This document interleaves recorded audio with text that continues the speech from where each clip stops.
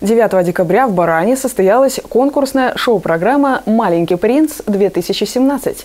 Это мероприятие многие годы является своеобразной визитной карточкой Баранского дома культуры и пользуется большим интересом и любовью зрителей. Чем отметилась юбилейная 10 конкурсная шоу-программа, знает моя коллега Галина Башкова.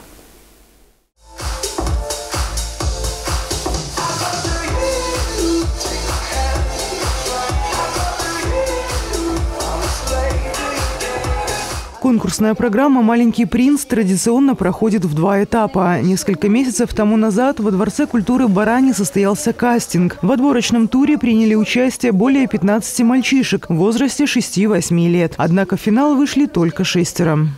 Это уже традиционный, сложенный фестиваль, уже можно сказать, статуса, а, поскольку в нем принимают не только конкурсанты из города Барани, а также из Орши. Это, наверное, говорит о том, что популярность а, и значимость этого конкурса все-таки приобрело уже свою какую-то стезю. Ну и, конечно же, это дает э, какую-то популяризацию творчества наших юных талантов. Это сегодня соискание наших талантов. Насколько мы сегодня можем раскрыть их таланты.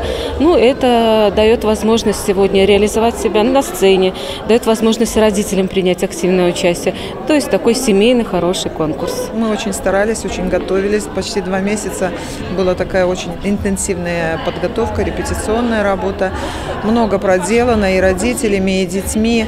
А, естественно, сложно, потому что на фоне девочек мальчишки выглядят, может быть, не так красочно, но все равно они очень стараются. И даже по некоторым конкурсам в этом году мы ввели впервые такой вот танец стрит-дэнс, уличный танец с элементами брейк-данса. То, что сейчас интересно, им нравится и пользуется популярностью. Они с таким удовольствием а, это делают, танцуют, это даже видно по ним. И они на репетиции просто собирались и сразу кричали, давайте танцевать брейк-дэнс, все. То есть им это очень нравится, то, что им ближе. А, в визитных карточках мы отошли немножко от сказочного образа, мы всегда выходили в сказочном образе, а в этом году это будут принцы определенного королевства. Они рассказывают о себе как принц, например, я принц-спасатель, да, я принц, я мечтаю быть спасателем, мечтаю быть пожарником, поэтому сегодня я принц-спасатель, и вот поэтому я здесь и такой. То есть, ну вот, э, э, будут необычные, каждый будет представлять свое королевство, которое в разных костюмах, в разных образах. Это будет, мне кажется, интересно. Помимо обновленных конкурсов, шоу-программа включала творческий вокальный номер и пародию. Среди финалистов – ученики начальных классов учебных заведений «Барани». Впервые в конкурсе приняли участие два аршанца. Мне рассказала мама и предложила поучаствовать. Я согласился, потому что мой брат уже участвовал, и я захотел тоже поучаствовать, как он. Мне нравится больше всего брейкданс, потому что это мой самый любимый конкурс. Висела афиша я узнал, когда это все и, и где это проходит. И я решил поучаствовать в этом конкурсе. Помогала готовиться мама. Но так мы готовились, ну, не очень трудно и не очень легко. Подготовили одежду, подготовили, ну, много чего. В конкурсе я жду удачи.